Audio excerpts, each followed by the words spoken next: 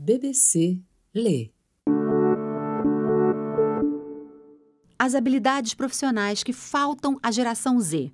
Reportagem de Alex Christian, da BBC Work Life, publicada pela BBC News Brasil em 16 de abril de 2023. Lida por Silvia Salek. Os profissionais da geração Z, nascidos entre 1995 e 2010, de uma forma ou de outra estão progredindo no novo mundo do trabalho.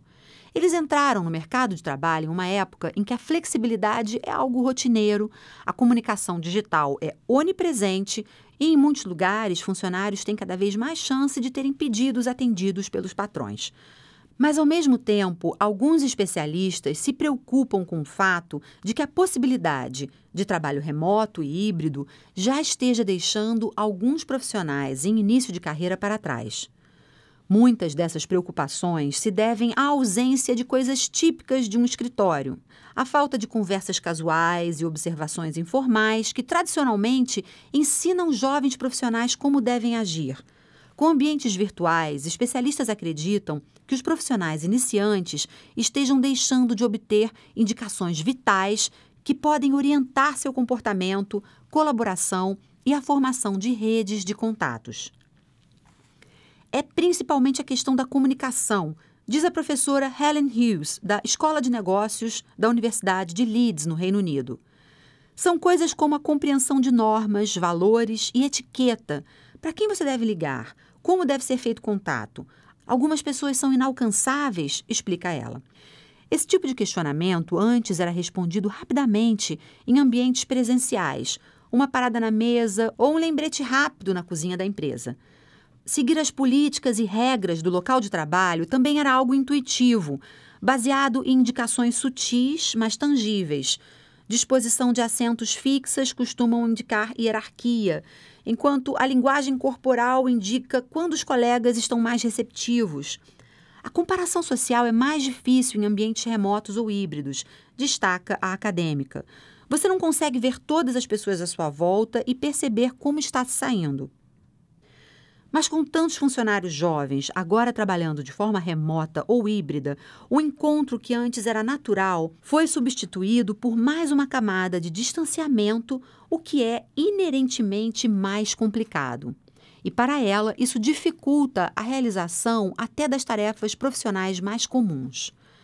Falhas de comunicação são comuns no ambiente virtual. Interpretar incorretamente o tom de um e-mail, por exemplo, explica ela. Pode também haver falta de percepção de quando agendar uma reunião, se é apropriado aguardar e formar uma lista de perguntas ou ligar a cada vez que algo for necessário, detalha.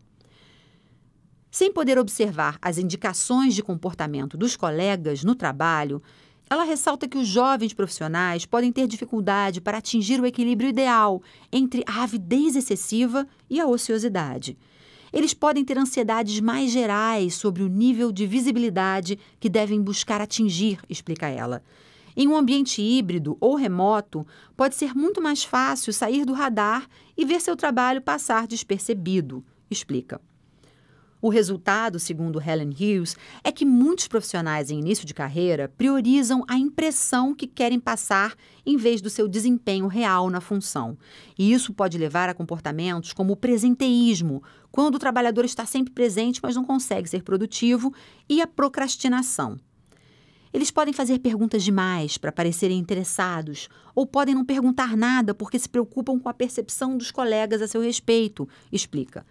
Em última análise, os encontros casuais com os colegas ajudam a estabelecer a confiança, incentivando um ambiente de tomada de riscos e inovação, segundo James Bailey, professor de desenvolvimento de lideranças da Escola de Negócios da Universidade George Washington, nos Estados Unidos. O acaso é uma parte importante da vida presencial no escritório que não pode ser reproduzida online, afirma ele.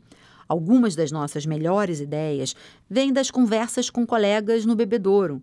Se você quiser reproduzir essas conversas casuais no Zoom, tem que agendar uma reunião com alguém. Explica. Para James Bailey, ao menos que o modelo anterior de aprendizado presencial possa ser atualizado para a nova era do trabalho, em conjunto com seus desafios atuais, alguns profissionais da geração Z podem não adquirir as qualidades de liderança que serão necessárias no futuro. Eles podem não ter dificuldades para realizar uma tarefa específica de forma independente, mas podem ter habilidades multifuncionais muito pouco desenvolvidas, explica. Elas são necessárias para se ter a visão estratégica de toda uma organização, o papel de um líder. É claro que nem todos os profissionais jovens que trabalham, ao menos em parte de forma remota, estão tendo dificuldades. Mas para muitos desses trabalhadores inexperientes, os ambientes de trabalho virtual podem exacerbar um novo tipo de estresse profissional. E essa falta de aprendizado por osmose quando se absorve conhecimento e habilidades técnicas estando junto a outras pessoas, tem deixado os especialistas receosos de que os profissionais da geração Z possam apenas sentir o verdadeiro custo dessas circunstâncias mais tarde, ao longo da carreira. Você ouviu a reportagem As habilidades profissionais que faltam à geração Z, publicada pela BBC News Brasil em 16 de abril de 2023.